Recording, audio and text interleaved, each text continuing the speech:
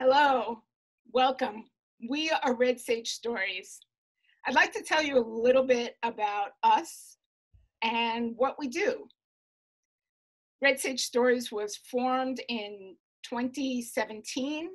We got a grant from NEFA, Creative City Grant, and it was called the Welcome Table, where we invited people to come in and sit down, have a cup of tea, and tell us whether they felt welcome or not welcome in their neighborhood. We did this at the Strand Lobby, at the Nightingale Garden, at DSNI, and at the Dudley Cafe. We listened to all kinds of stories, and then we came up with a play from those stories that we called The Bus. And we presented that to over 600 people. And after we or even during that process, the people in the company were invited to continue training and performing. And we performed for our neighborhood based in Dorchester and Roxbury. And we found that we were filling a very important niche. One that was filled by a company, predominantly POC, uh, interracial, intergenerational, multi-language, and we got great responses. So we continued. What do we do? We do something called playback theater that was formed in the 70s by a couple, Jonathan Fox and Jo Salas. It's improvisational theater. It's spontaneous. We invite people in the audience to tell their stories, true personal stories, and then we, the actors, immediately dramatize those stories. We try to get to the heart of the story. And spontaneity is very important.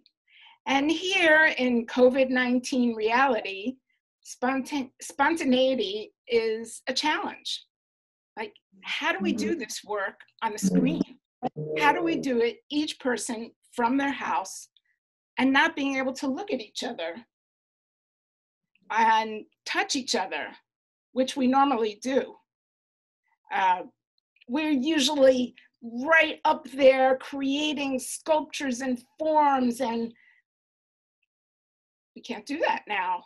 If we speak on top of each other, it sounds terrible. And we can't really vibe each other the way we used to. So we're finding new forms, which is really exciting. And sometimes it really works, and we're thinking, hey, we're going to stick with this. And sometimes we're longing for the old way, and we feel sad that we can't do that. So, what we're going to do tonight is a new form of playback theater.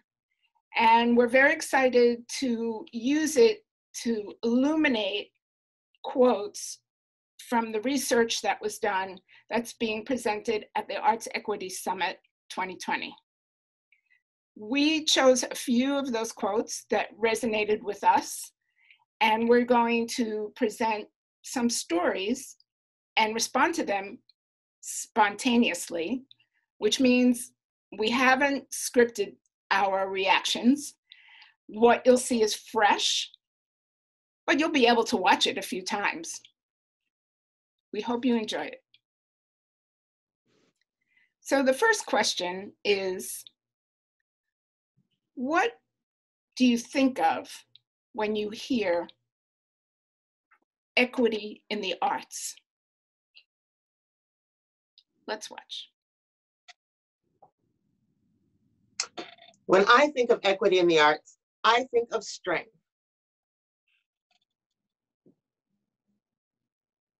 Let's watch. My words has they have power. Get on board. Lifting it up.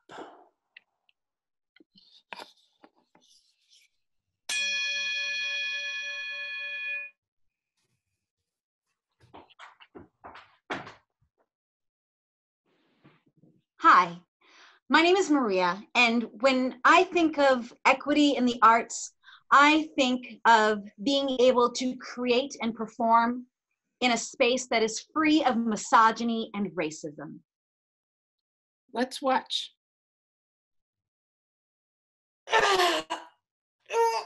Ah, that's better. Yes.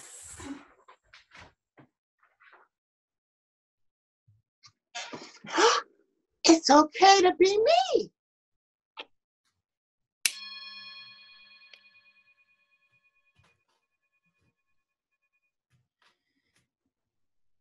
My name is Raquel, and when I think of equity in the arts, I think of seeing the stories of people of color. Let's watch.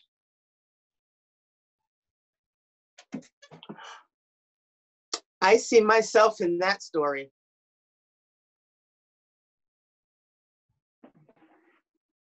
You see me, don't you? Oh, yes. All the flavors.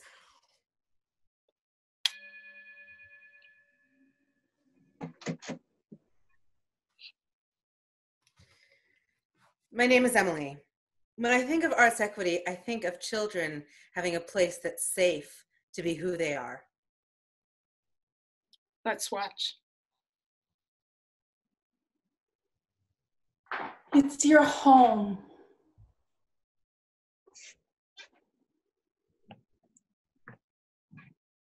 Look in there. There's you. All our voices are heard.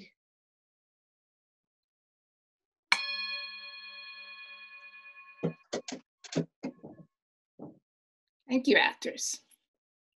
So, part of the spontaneity and um, being quarantined is that I am doing a little makeshift with the singing bowl and a wooden spoon, which isn't normally what I would do, but I'm making do. A white Western canon is usually what people think of first when they hear the term arts. The dominant narrative of the Euro white experience literally dominates our center. Who essentially has the power to decide what they want to do is mostly white people.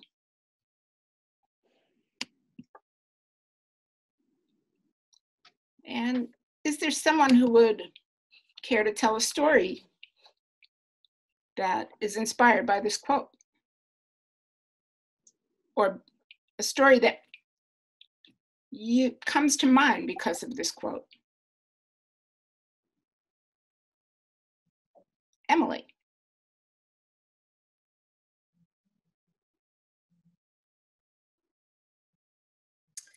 So when I think about having the white Western canon uh, presented as the center in all of the most visible and culturally supported and you know in terms of what most of us see most of the time.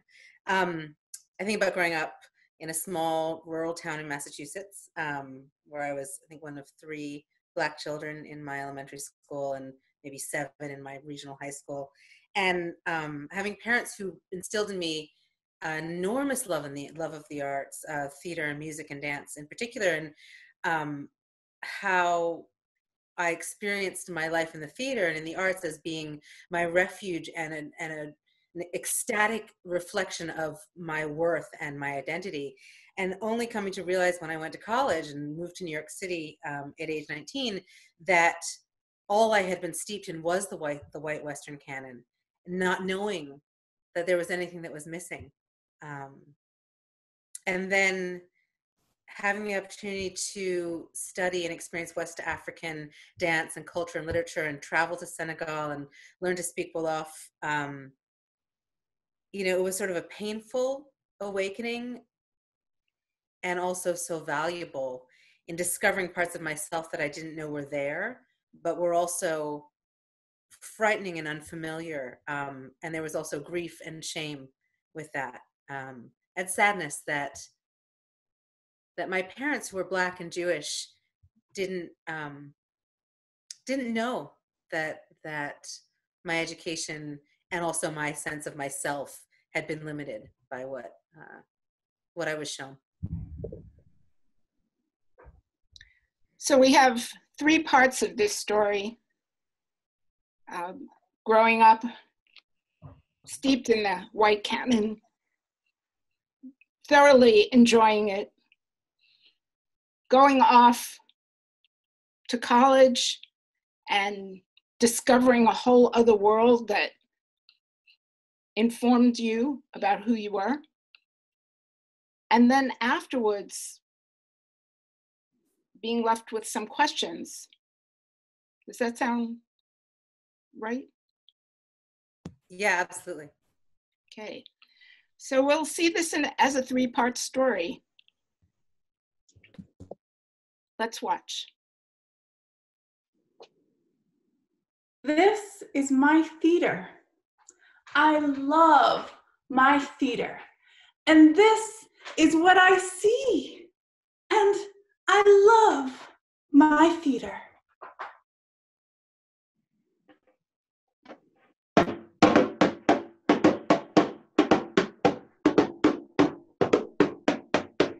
Oh, wow.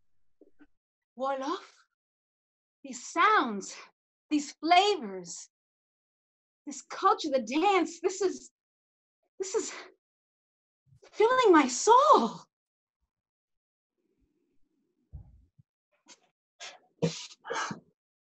I found myself. But I've I lost another part of myself. But I found so much myself. But what does that mean about my younger self?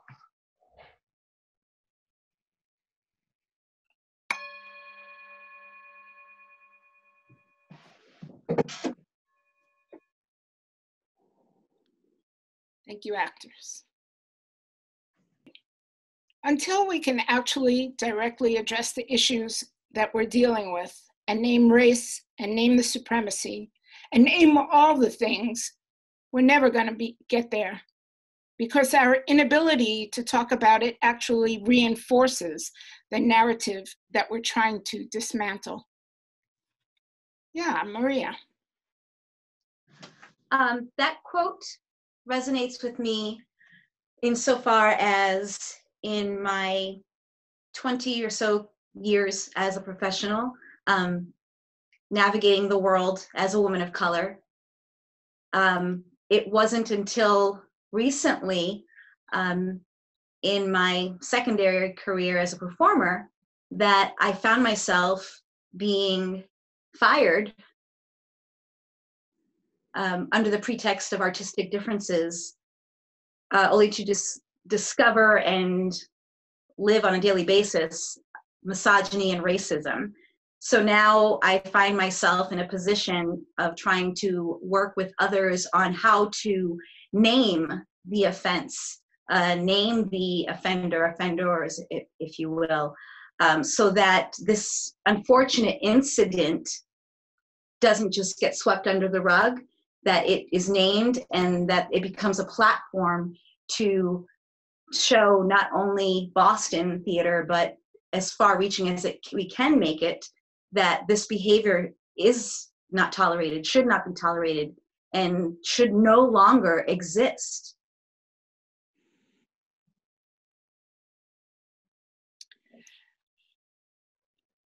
Thank you. Um, so we're going to see this story, which is a lot of feelings, as a rant.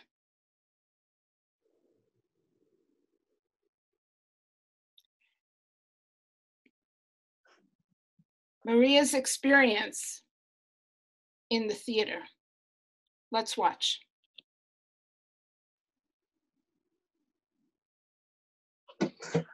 You know, all this is going on. We got to call it out. I can't just sit here and let people do this to me and never say anything. I've got to point a finger at it. I've got Are you to. trying to make me crazy? Telling me this is what's happening when that's what's happening? think I'm just gonna fall for your lies? What you, you're gaslighting me? You think I'm just gonna give my authority over to you? No, I know what really. Why why don't they see this? Why don't they see that this is racism and that this is the issue and this is white hegemony and this is a structural issue and nobody seems to You recognize can't just keep things. You have to bring it out to the, you know, what happens in the dark will come to the light. You can't just keep hiding it. We've got to admit it. If we're gonna fix Surprised. I'm surprised we're coming together. I'm I'm actually surprised. Well, you know, I, I don't know. I'm not that surprised. We're coming together. We're coming together. I'm not that surprised. We're coming together. We're coming together.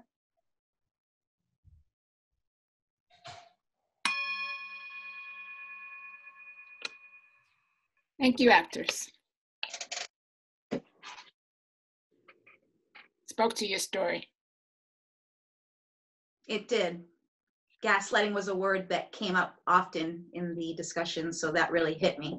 Thank you. If you don't feel welcome in an art space, you probably won't go. If you feel like an outsider, why would you go if you don't see yourself represented in any way? If you don't have a personal connection, then why would you attend? Or if you even see yourself represented in a harmful way or a stereotypical way, then why would you attend?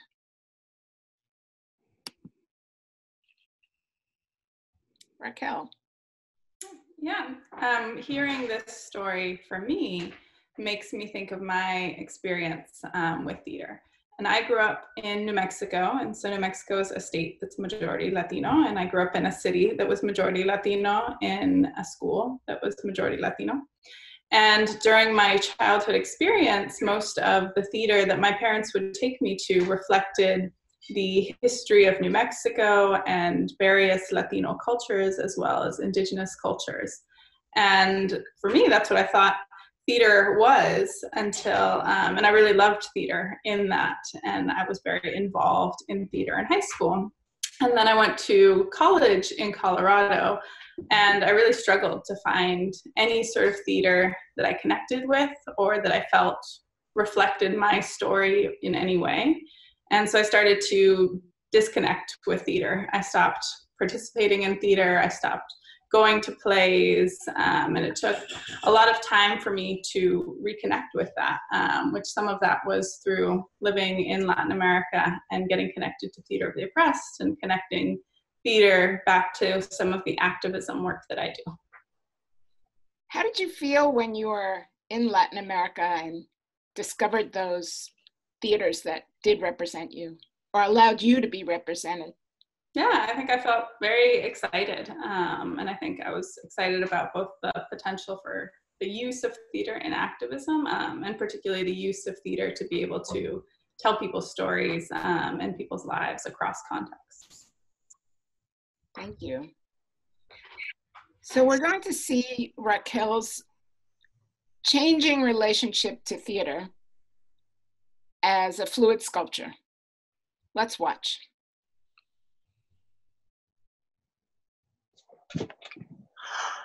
Oh, wow. I see my experiences on that stage. Those people look like me. Oh, wow. I see my experiences on that stage. Hello? Where are you? Hello? Where are you? Mi cultura está siempre conmigo y es una puente. Mi cultura está siempre conmigo y es una puente.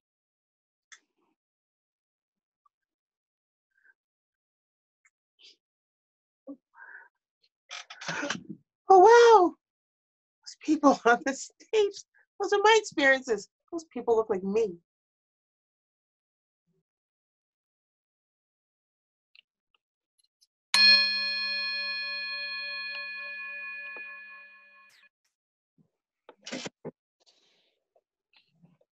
Did you see your story, Raquel? I did. Hi, my name is Sonia, and I'm from the Mattapan, Dorchester, Roxbury area. Um, you know, in the last 10, 15 years, there have been a lot of shows. Um, they come to uh, major theater in Dorchester, and I, I kind of really thought that it would be a different kind of show. I, I was looking for theater that represented me. I kind of don't want to go to the same old stereotypical shuck and jive show that has been around forever. I want to see something, something fresh, something new, something that represents me because I don't fit into that stereotype. I don't belong in that box. And I want to see stuff out of the box. Would you say that you're a lover of theater, Sonia? Oh yes, I'm I'm a performer. I've been doing theater now for 13 years. And when I get the opportunity to go see it, when I have some free time, I'd really kind of just like to see something that I can really get into. Thank you. We're going to see this as a pair, and we're Maria and Emily. Um, what happens when theater comes to my neighborhood? Sonia's story. Let's watch.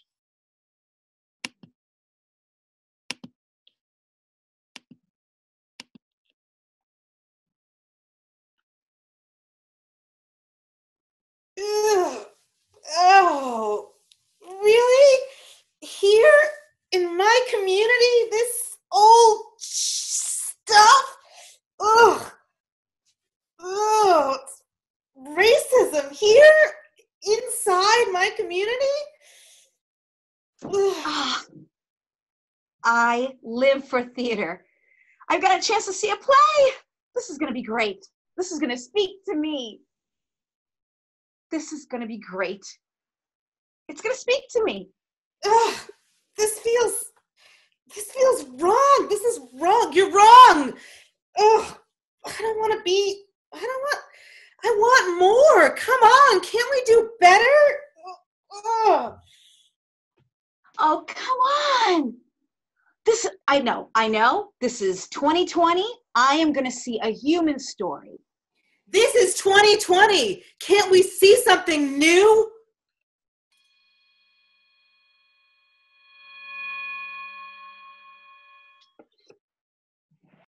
Did you see your story? Yes, thank you.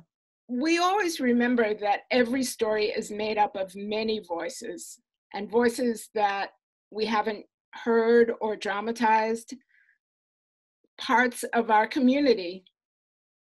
And this is especially relevant when we're talking about equity, that we want to remember all the voices that aren't heard.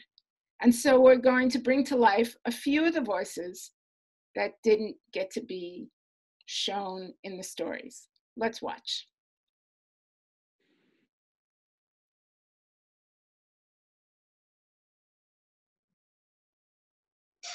Oh yes, everybody come on in. Come down the aisles. Yeah, right up on the stage. Everybody's welcome here.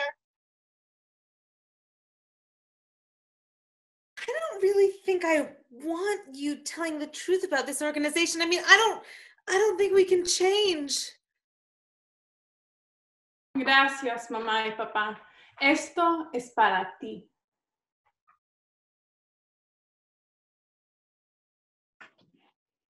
Anhaguinte, nós é crioulo, nós tem teatro, nós tem voz. Xadô de nosso povo. Thank you, actors. And we are Red Sage Stories.